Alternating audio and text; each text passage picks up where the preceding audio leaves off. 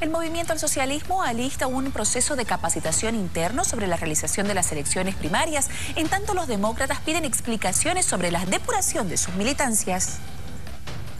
La comunidad ciudadana, el asambleísta Edwin Herrera, considera que la siguiente gestión, la oposición junto a colectivos ciudadanos y otras agrupaciones, tienen que trabajar de manera conjunta para rescatar la credibilidad en el sistema democrático. En el 2019 o recuperamos plenamente la democracia o perdemos definitivamente nuestra democracia. Con la movilización social permanente, con una buena estrategia y venciendo las elecciones del 2019, o si es que no llegamos, se, impondrá esta obsesión prorroguista de parte del gobierno del MAS. Para el diputado del MAS, Franklin Flores, los opositores no son los más indicados para hablar de democracia, recordando que en los años 90 con la Alianza Patriótica eligieron a un exdictador como presidente.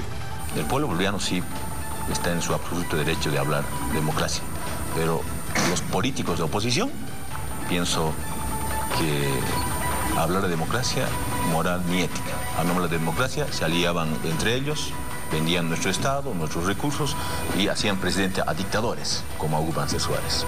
A menos de un mes de las elecciones primarias, surgen pedidos de opositores de inhabilitar al binomio del MAS y anular su personería jurídica, mientras oficialistas creen que la oposición no cuenta con propuestas alternativas para enfrentar al MAS en las elecciones generales.